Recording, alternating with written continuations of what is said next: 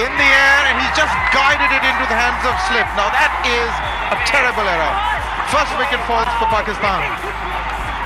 Yes, that was very, very well bowled, but again, a poor shot, a soft dismissal.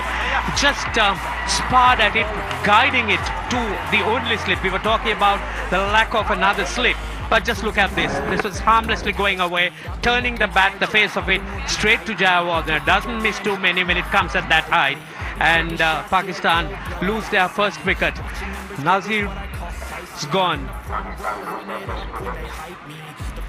So Nazir, he's gone for 14, Pakistan 19 for 1. At the moment, it's Yasir Hamid. Oh, oh, that's gone. That's gone. Another one. Malik this time. Pakistan lose another wicket. Now, now, what's going to happen now? It's a very important game for both the sides. And this was a very loose shot. Zoysa struck again, just short of a length, and he tried to steer it to the third man again. Fantastic bowling by Zoysa.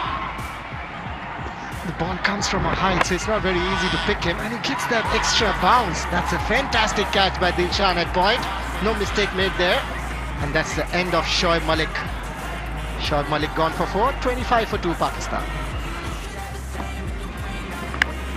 The outside edge, and he's got his man. Zoysa has come back, and he's got his third wicket.